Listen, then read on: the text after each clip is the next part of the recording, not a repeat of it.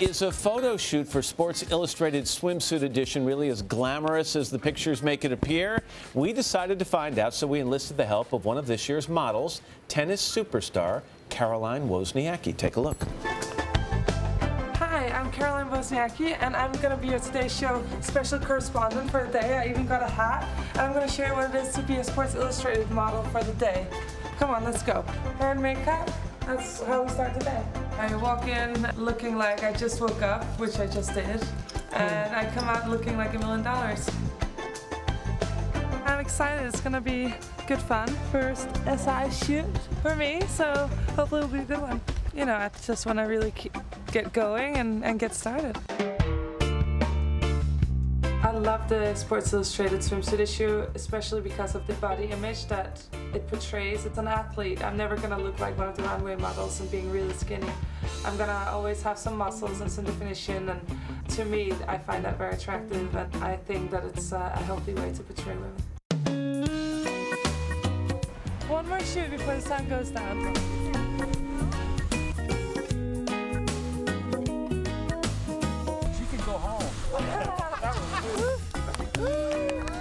One done. One more to go. We're going on a boat, um, which is going to be fun, and I'm just looking forward to get some more shots in and uh, hopefully some more good pictures.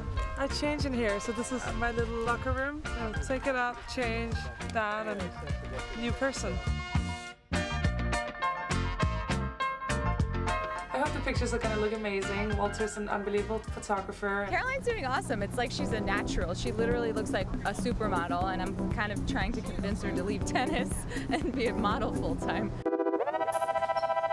Hi, Caroline. Morning again. Morning. That's a nice compliment. She said you're like a supermodel. You're a natural for this. How did it feel? Was it at all intimidating?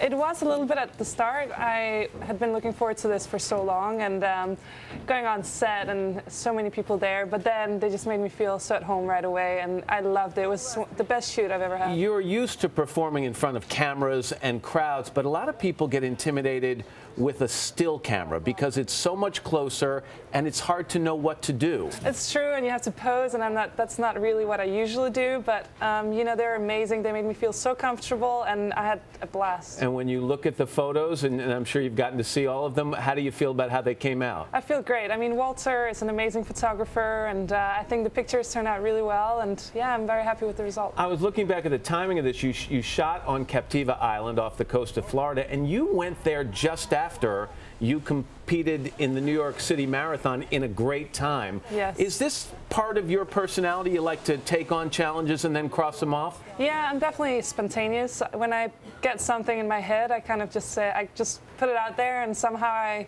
get into these situations that I can't get out of. Like I all of a sudden I was like, eh, maybe it's not the best idea to run the New York City Marathon, but I didn't really have an, a choice to go back. But you had a time under amazing. three and a half hours. It. Yeah, it, was, it was amazing. It was pretty and good. It was perfect timing because you know I was running so much, so my body looked great for the for the shoot as well. So it's like it's a win-win situation. What's next in terms of competition for you? I'm going to Dubai um, tomorrow night and going to play there next week. Uh, number five ranked women's tennis player in the world. That is very good. Caroline, thanks for taking the cameras and showing us behind the scenes at the shoot. Yeah, that was fun. Pleasure. Great to me. have you here.